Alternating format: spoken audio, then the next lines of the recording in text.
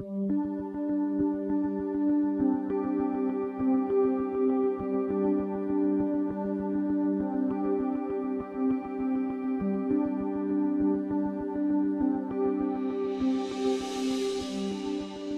name's Chris.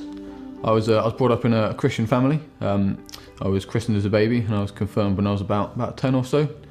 Um, but growing up, I, was never really never really walked with God uh, through my teenage years and through university. Uh, very much lukewarm, sort of on and off, um, going to church here and there.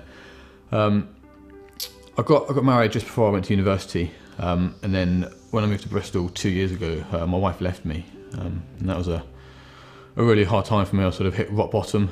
Um, so I was recommended Woodlands Church by a friend who, uh, down next to at university. So we, when we moved up to Bristol, we came to Woody straight away.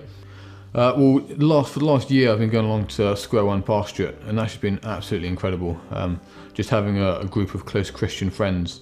Because uh, before that, all of my, my friends were, were non-Christians. Um, I had some quite good friendships, but it was it was difficult living out a Christian lifestyle. Uh, but actually now I've got a really close group of friends that are all Christians that I can do life with, um, and it's just amazing having a group of friends that just are so passionate about Jesus. Through the through the hard time a couple of years ago, um, there's one thing that God really taught me above above anything else, and that was just to rejoice uh, in my sorrows. Um, and there's a particular passage in 1 Peter that just really was significant for me, um, just uh, rejoicing through hard times and trials. I want to get baptised today because I want to just tell everybody that I'm in love with Jesus and I want to live for Him every day of my life. Uh, my name's April. Um, when I was 12, um, my friend invited me to a Christian festival called New Wine. Um, I didn't have a particular Christian upbringing, so it was a new experience for me. Um, I learned about Jesus, um, I met with God there. Um, so I started on a process of going to church. however, it was more of a social thing. I didn't really have a relationship with Jesus. Yeah, so I was living with my boyfriend in Manchester. Um, I had everything. I had job, car, flat, everything that the world kind of taught me that life was about. Um, but there was this emptiness and this longing for something more uh, inside of me, and I just I had to break out of it. So um, I just left. So I came to Bristol in January. Um, I was in a really low point because um, I had no friends, I didn't know anything about Bristol, I'd never even been to Bristol before. Um, and so I thought I need to get into church because I know there's some nice people there. Um, and I went to do the Alpha course in January this year. And in March, at the end, I gave my life to Jesus. And uh, yeah, what can I say? He's just done the most ridiculously amazing things in my life ever since. And it's just been an absolute roller coaster. There are nights when I go to sleep and I can't wait to wake up the next day to see what he's going to do.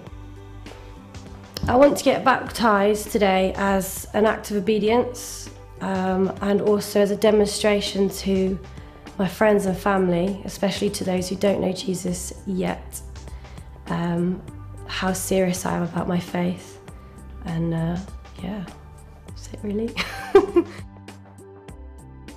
my name's Anna. Uh, I didn't grow up a Christian, um, but it was something that I was always interested in. And I used to talk to my friends a lot about it. Um, when I went to uni in Cardiff, I lived with a Christian in halls in my first year, and she ended up becoming one of my best friends. Um, she went to Woodlands, um, and I went along to church with her a couple of times in Cardiff, but found it a bit scary. Uh, I ended up moving to Bristol and I lived in a community house for a few couple of years.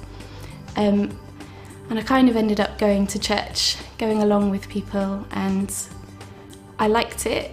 I was quite into it, but I guess I wasn't quite ready for my life to change, and I was quite scared that my personality was going to change, and I knew that it was a big deal and that the whole foundations of my life would have to change if um, I decided to give my life to God. Um, and I guess I just wasn't quite ready to lose my comfort zone that I'd built up around me. Um, and I ended up going away from church for a couple of years. Um, I was in a relationship with someone who wasn't a Christian for quite a long time. And when we broke up, I started going back to church again. And I guess that time round, it felt a lot more like it was my choice to go. And I wasn't so worried about what other people thought. And um, I guess I started to realise how faithful God was that even though I'd rejected Him so many times and run away from what I knew He wanted for my life, He not just was willing to have me back, but was looking for opportunities to get me back. And I kind of want to say publicly that I want to commit my life to God and that even though this would have sounded terrifying to me five years ago, that I want God to be the centre of my life and I, I, want to do whatever He wants me to do and, and follow Him, even if it's hard or even if the feelings aren't there. I guess it's that kind of unconditional love that I know that He has for us. I, I want to, to have that for Him. Thank you.